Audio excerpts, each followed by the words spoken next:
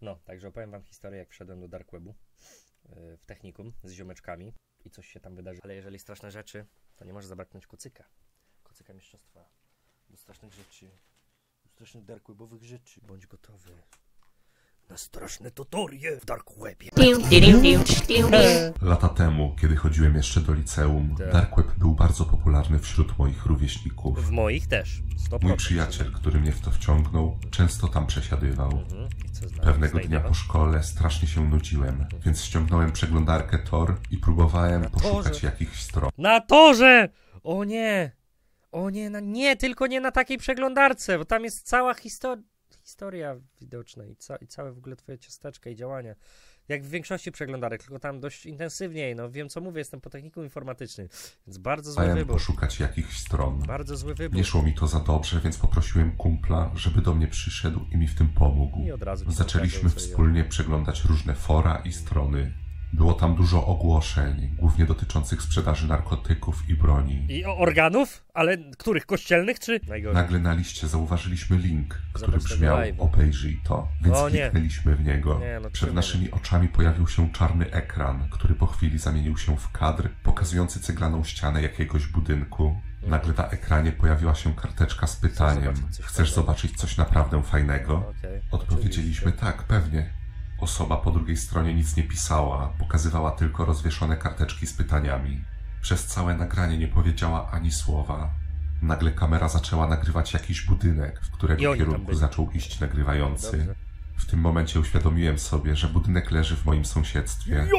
Nieznajomy powiesił kolejną karteczkę z napisem LOL.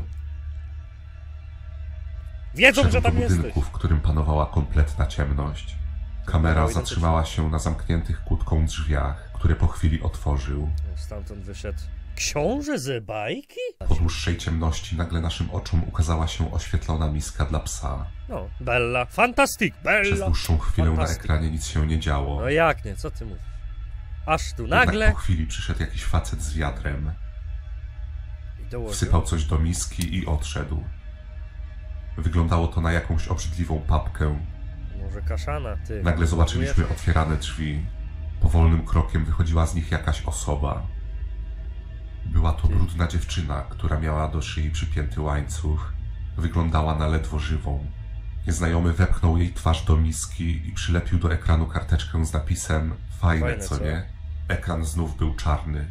Jo, to dupia. Byliśmy sparaliżowani tym, co No i właśnie co, obejrzeliśmy. teraz dzwonisz na policję? No Transmisja przecież... jednak wciąż Chwileczkę, wiecie w jakim miejscu to się wydarzyło, więc pierwsze co telefon na policję, skoro wiesz, że to jest w twoim, na twoim osiedlu, w twojej dzielnicy, a ludzie robią naprawdę popierdolone rzeczy. Musicie to wiedzieć. To nie jest tak, że to, co tylko widzicie w internecie i tak dalej, i od czasu do czasu dramy na YouTubie, to jest pryszcz, to jest pryszcz. Transmisja jednak wciąż trwała i po chwili na ekranie zobaczyliśmy mój dom. Mhm. No i masz, i teraz się zacznie zabawa, no oczywiście. Kamera pokazała karteczkę, na której był napisany mój adres.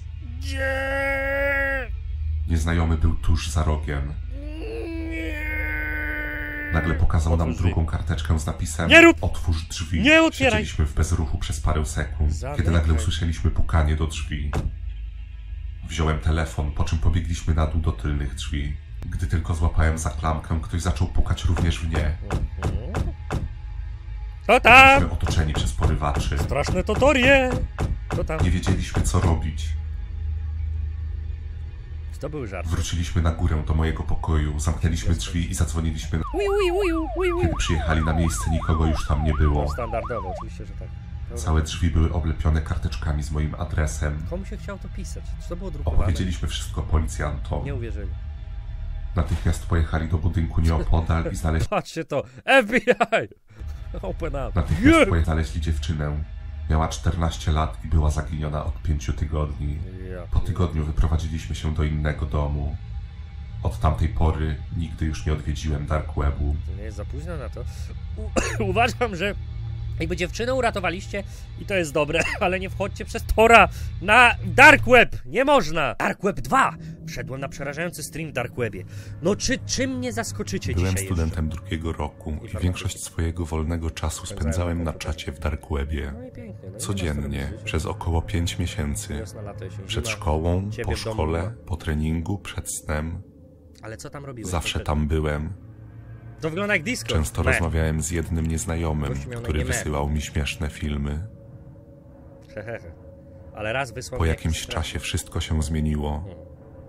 Pewnego dnia wysłał mi link, który przekierował mnie do transmisji na żywo. Była na nim kobieta przykuta łańcuchami do łóżka. Ojej, cóż to za fetysze. Wyłączyłem go i chciałem wejść w coś innego, ale rady. nagle straciłem panowanie nad myszką, która samodzielnie kliknęła z w powrotem od w link do no. transmisji. I patrzcie to, znacie się z kimś kupę czasu, spędzacie z nim wiosnę, lato, jesień, zima i w pewnym momencie on się okazuje zdrajcą, jest po prostu impostorem twojego życia, który wysyła ci jakiegoś wirusa i ktoś ma dostęp do twojego wszystkiego. Jak masz ufać? Ufaj tylko sobie. Kobieta wciąż tam była. Nagle przed kamerą pojawił się facet z workiem na głowie. Z jednym okiem. W worku miał wyciętą dziurę tylko na jedno oko. Pokazał stół, na którym leżała piła, pistolet, nożyczki i i brzytwa. lekarzem jednocześnie. I policjantem. Mężczyzna w worku kazał wybrać widzom jeden z przedmiotów. Nie, no prosto. Wszyscy wybierali nożyczki i brzytwę. Macie dark web. Facet w worku ogolił jej głowę, po czym kazał wybrać następny przedmiot. Tym razem widzowie jednogłośnie wybrali pistolet. Podniósł broń i wycelował jej w głowę. W tym momencie odzyskałem kontrolę nad myszką i szybko wyłączyłem transmisję. Na Zastanawiałem się, co ja właśnie Po w obejrzałem. oglądałeś? Po chwili monitor, znów myszka kliknęła w komputer. link do transmisji. Yeah. Przed kamerą stał wciąż ten sam facet w worku, a za nim widać było kocioł. I powiedział, Próbowałem odzyskać następny. kontrolę nad myszką, ale nie mogłem. Na wózku siedziała już inna kobieta. Na ekranie pojawiły się obrazki kotła, kija bejsbolowego i miotacza ognia. Nieznajomy kazał widzom wybrać przedmiot. Ręce, Zdania napisz były ręce. podzielone między kotłem a miotaczem ognia. Facet powiedział, że użyje więc obu. Kopnął wózek z kobietą przed kamerę, po czym wycelował miotaczem w kocioł. Możesz to wyłączyć po prostu i wyjść? Nie jesteś Woda zobowiązany do wrzała. oglądania tego. Kobieta zaczęła krzyczeć jeszcze głośniej. Nagle przyszedł drugi mężczyzna.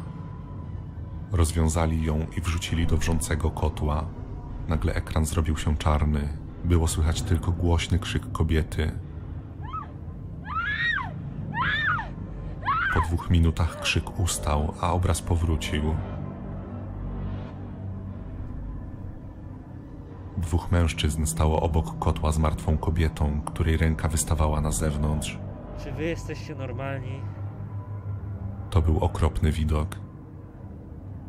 Następnie transmisja się zakończyła, a ja odzyskałem kontrolę nad myszką i Po coś zamknąłem to okno. oglądał! Po coś, po coś. Przez dłuższy czas siedziałem samotnie w ciszy.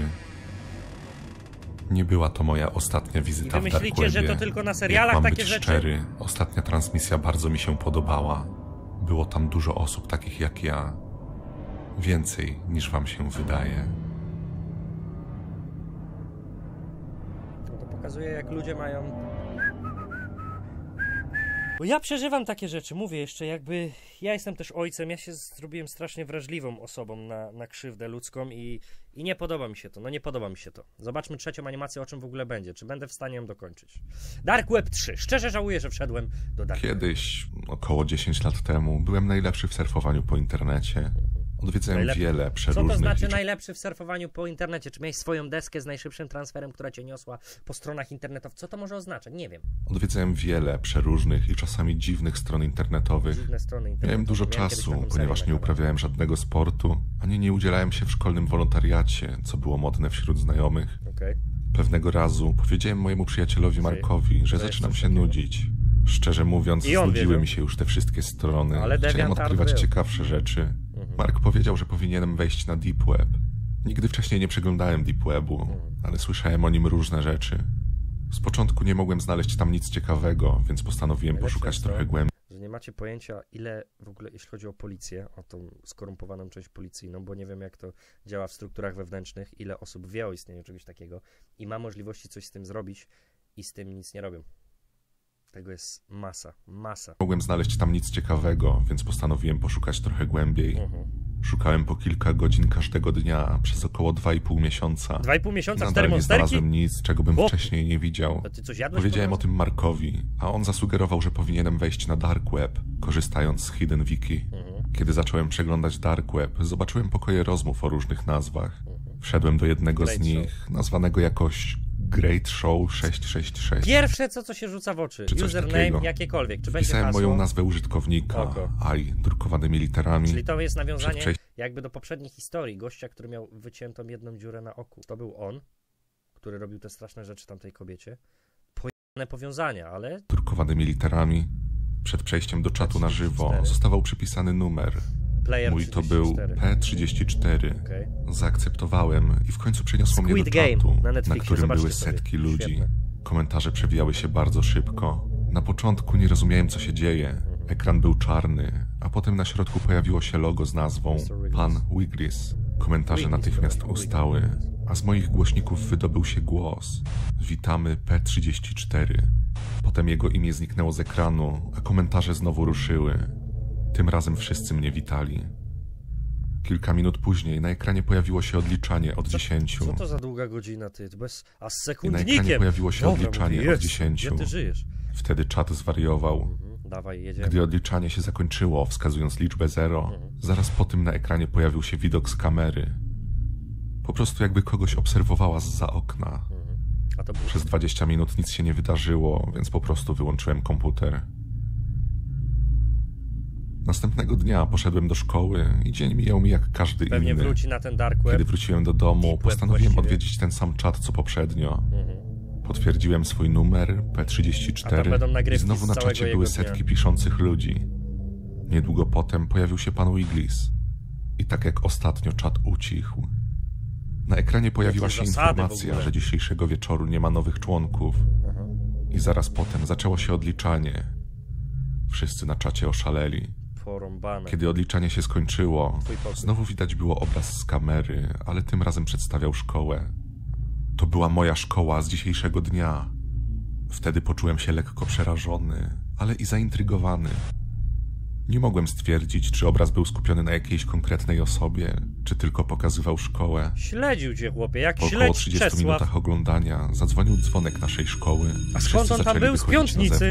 No bo skąd? Nagrywający Oczywiście, musiał siedzieć w samochodzie po drugiej stronie ulicy. Wszystko wiedział. Kiedy wszyscy wyszli, osoba ta wysiadła z samochodu i zaczęła podążać za tłumem dzieciaków. Nikt Powoli wszyscy zaczęli się rozchodzić w różne strony, A, a ja- osoba nagrywająca zaczęła kogoś śledzić. To ja. To był mój przyjaciel Mark. Znajomy, no pewnie, że tak. Człowiek z kamerą musiał być około 30 metrów za nim. O kurde. Zadzwoń Złapałem do za niego. telefon i zacząłem dzwonić do A Marka. on nie ma ale czasu. Nie odbierał. On już nie ma czasu. Od tej chwili próbowałem się do niego dodzwonić przez cały czas. Ta osoba podążająca za nim usiadła przed jego domem i przez kilka minut nic się nie działo. Ale Mężczyzna za biedny kamerą w końcu powiedział: ty. Nie wchodźcie na deep. Rodziców nie ma. Jest sam w domu. Po czym wstał i ruszył w stronę wejścia. Zadzwonił do drzwi Nie, no i po- czekał, kontynuując nagranie. Proszę cię, nie, bo ja się za bardzo sfokusowałem na tym. Panie Wiglis, no czy mógłby pan już zaprzestać tego szpiegowania? To jest straszne. Po chwili Mark otworzył drzwi. Wyglądał na zdezorientowanego, a facet powiedział: P34 pozdrawia. Mark wyglądał na przerażonego, a zaraz po tym kamera się wyłączyła i wszyscy zaczęli wychodzić z czatu, więc ja też to zrobiłem. Już nie odbierał telefonu, Zadzwoniłem na prawda? telefon domowy Marka i odebrała jego mama. Zapytałem, czy jest w domu, a ona powiedziała, że myślała, że Mark jest ze mną. Nie wchodźcie na dark. Spanikowałem. To w jakim domu Następnie niby dostałem powiadomienie na telefon o nowej wiadomości. był? P34. Nadawcą był pan Wiglis. To jest niemożliwe, musiałbyś mieć go zapisanego. On nie działa w rządzie, żebyś dostał powiadomienie RCB alert, że będą pożary i w- powodzie. No to tak nie działa, Pan typie. Wiglis. Bądźmy fair. Jestem blisko P34. Mark mówi cześć. Mhm. Byłem przerażony i nie wiedziałem, co robić, więc Ludzie zadzwoniłem na policję. Jednak nie mogli nic z tym zrobić, ponieważ wiadomość zniknęła. Od tamtej pory nie wchodziłem do dark webu i nikt nie widział Marka. Jednak do dziś otrzymuję zdjęcia przedstawiające mnie w losowych miejscach i wiadomości, które zawsze brzmią tak samo. To się może zdarzyć kiedy. To może się zdarzyć w każdej chwili. Mhm. Czyli całe życie po prostu będzie go straszył. Chłop Szczerze żałuję, że wszedłem do dark webu. Nie dziwię się. Jeszcze był za nim na bank. Nie wchodźcie do dark webu, deep webu, nie róbcie tego. Dajcie sobie spokój. Ja mam dość. Okej, już wiemy wszystko o Dark Webie. Miałem taki epizod w, w technikum informatycznym, że weszliśmy do Dark Webu z ziomeczkami na nocce, nie używając Tora, przeglądarki ani e, niczym temu podobnych rzeczy, ale miałem znajomego, który wiedział jak to robić. I od początku mnie przynajmniej uczyli, żeby tego nie robić, więc jeżeli wy macie taką możliwość, kompletnie tego nie róbcie. Nawet jeżeli ktoś was zmusza albo mówi, hej, chodź, zobacz, będzie fajnie, będzie śmiesznie. Nie rób tego, może się to skończyć różnie. Tyle ode mnie. Do zobaczenia w kolejnych strasznych historiach na kanale, bo ten odcinek na pewno niósł ze sobą jakiś przekaz i mam nadzieję, że weźmiecie to do siebie. Kolejne straszne historie w sobotę i prawdopodobnie w niedzielę, jak będziemy odpalać jakiś maraton. I to tyle ode mnie, mistrzowski łokieć. Do zobaczenia w kolejnych strasznych historiach i innych odcinkach na kanale, bo odcinki codziennie o 15, czyli od poniedziałku do piątku o 15 i w weekendy o 10. Strasznie mocny odcinek. I uwierzcie mi, że nawet jeśli był troszkę pokolor- podkolorowany i tak dalej, to dużo z tych rzeczy może się zdarzyć naprawdę. Nie wchodźcie do Dark Webu. Łokieć pół.